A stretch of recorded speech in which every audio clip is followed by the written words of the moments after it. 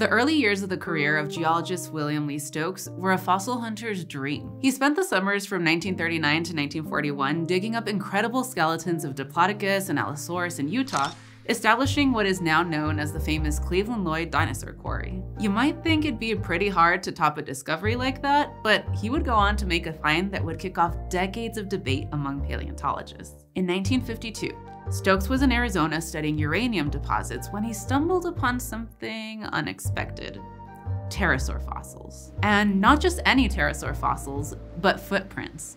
He'd found one of the first pterosaur trackways ever to be discovered. He named his discovery Pteraichnus. And today, almost 70 years later, pterosaur tracks have been identified in the fossil record from the Jurassic and Cretaceous periods at over 50 sites around the world. These trackways give us a unique glimpse into part of pterosaur life that most people probably don't think about that often. Because if you know one thing about pterosaurs, it's that they're flyers. And while pterosaurs may be well known for their domination of the skies in the Mesozoic era, they didn't live their entire lives in the air. So how did we figure this out? And what were they like when they finally came down? Long before paleontologists discovered the tracks of pterosaurs, they discovered their bones. Today, we know that pterosaurs are a type of archosaur, which means they're part of the larger group that includes dinosaurs, birds, and crocodilians, but this wasn't always so certain. Back in the late 1700s and early 1800s, paleontologists had only identified a handful of pterosaur fossils, so they didn't have much material to study. This resulted in some creative interpretations of what kind of creature these bones came from. The first person to describe a pterosaur specimen was an Italian historian named Cosimo Alessandro Collini, and he thought that the fossils belonged to some sort of marine animal, which yes, does seem pretty silly now, but this was something entirely new at the time. Using the only fossil of a pterosaur that had been discovered at that point, Collini made the best interpretation he could based on the limited information that he had. All science, including paleontology, has to start somewhere. It's a process that self-corrects over time as more data is collected. By the early 1800s, paleontologists had realized that the limbs of pterosaurs were actually wings, but beyond that, they weren't much closer than Collini to really understanding these animals. Several of them decided that the wings were similar enough to those of living bats that they must have belonged to some extinct species of bat. And with bats on the brain, these researchers thought that if it looked like a bat, it must have also moved like most bats. This led them to assume that pterosaurs would have been skilled flyers, but slow walkers that would have had to drag themselves along the ground on their bellies to get around on land. Despite eventually being correctly identified as flying reptiles rather than bats, this image of pterosaurs as clumsy walkers stuck around well into the late 1900s and it only changed with the discovery of a lot more pterosaur fossils. In 1983, a paleontologist named Kevin Padian used this new wealth of pterosaur fossil material to conduct a more in-depth study of their anatomy. He suggested that the pelvis and hind limbs of pterosaurs fit together like those of birds instead of like bats. This would mean that pterosaurs would have been bipedal and walked on their toes with their legs directly under their body, just like we see in birds. And Padian even took it one step further. He proposed that not only could pterosaurs walk on two legs, they could do it well. This was a really surprising idea at the time, one that spurred decades of debate over the true terrestrial capabilities of the pterosaurs. For years, paleontologists fought back and forth over whether pterosaurs were more bat-like or bird-like, unable to reach a consensus. The thing is, though, pterosaurs aren't bats or birds. Each of these groups evolved power flight from very different sets of anatomical building blocks, so there's no reason to think that they would all end up looking the same or flying exactly the same way. Pterosaurs have their own unique anatomy that isn't quite like anything alive today. So how do we start to understand their behavior? Well, if bones aren't enough to figure it out, another way is to look for the actual traces of behavior they left behind. We needed tracks, which presented a whole other set of questions to answer. First being, how do you know when you've found a pterosaur track? Identifying exactly what animal made fossilized tracks isn't easy, especially for animals that have gone extinct and don't have modern relatives. And it's just about impossible to be sure exactly which species made a particular set of tracks unless they literally died in them, so fossilized tracks actually aren't given the same name as the animal that made them. Instead, they're assigned their own unique ichnotaxon, which is just a scientific name for a specific trace fossil. So when Stokes named those footprints he found Pteraichnus, he wasn't assigning the tracks to a new species of pterosaur.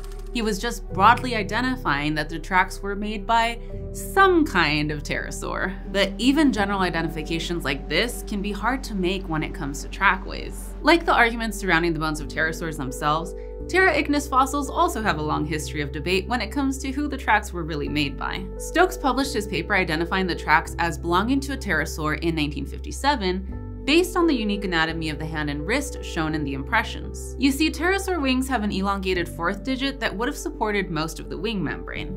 And they also have a unique bone in their wrist called the pteroid, that would have supported the portion of the membrane between the wrist and the shoulder on the front edge of the wing. Stokes noticed several curved grooves preserved alongside the tracks, and he believed that these grooves were likely made by either that fourth digit or the pteroid dragging along on the ground. And these distinctive handprints were paired with matching footprints, indicating to Stokes that pterosaurs walked on all fours. But in 1984, however, Kevin Padian and one of his colleagues disagreed.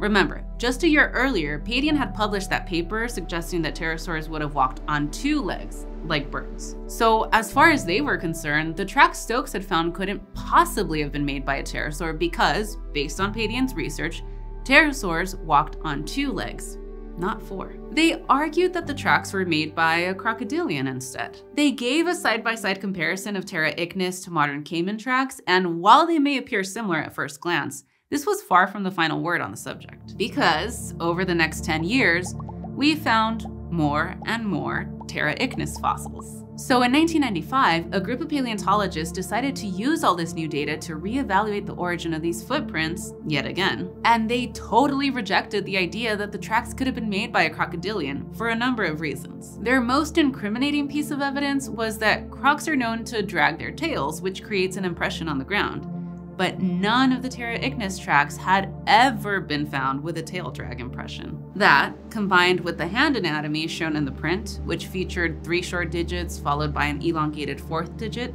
helped them to confidently determine that the tracks had been made by a pterosaur. After almost 40 years of debate, this paper was just the first of many to confirm that Stokes had been on the right track all along. And once Pteraichnus fossils were correctly identified as pterosaur tracks, this gave us a whole new body of information to draw on for research on pterosaur terrestrial behavior. Like in 1996, another paleontologist analyzed pterosaur body fossils alongside Pteraichnus trackways to determine that pterosaurs probably had a flat-footed, semi-erect posture while they walked on all fours. Although details of their terrestrial behavior are still debated, most paleontologists agree on this general semi-upright stance. We even know how one pterosaur landed. Footprints published in 2009 suggest that it probably slowed its descent using its wings and landed lightly on its feet, dragging its toes and hopping forward slightly before putting its hands down. And even more recent discoveries have helped flesh out the idea that these animals were just as busy on the ground as they were in the air. For example,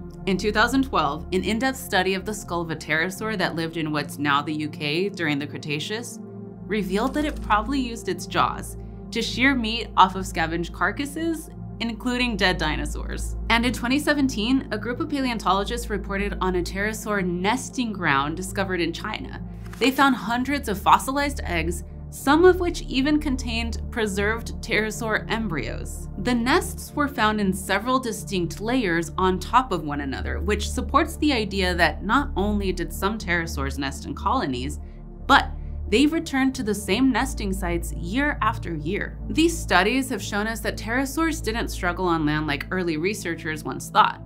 Instead, they used that time on the ground for things like eating and nesting, pretty significant parts of their lives. It's hard to think of pterosaurs without picturing them soaring through the air, but their fossils have shown us that there was a whole other side of their lives beyond flying. And despite their surface level similarities to modern day flyers, unlocking the secrets to their terrestrial behavior wasn't just as simple as saying they were just like a bat or just like a bird. Instead, pterosaurs were a unique evolutionary experiment, one that developed their own way of balancing life in the air with life on land.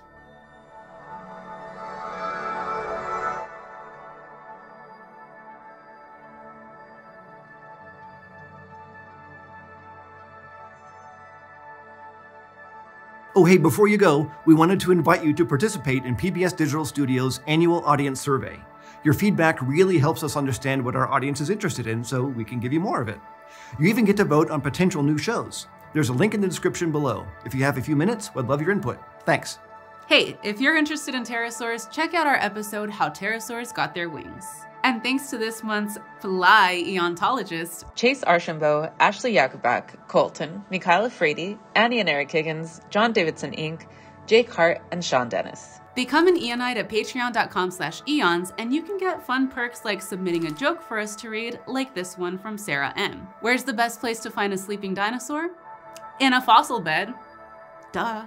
And thanks as always for joining me in the Konstantin Haase studio. Subscribe at youtube.com slash eons for more journeys in deep time.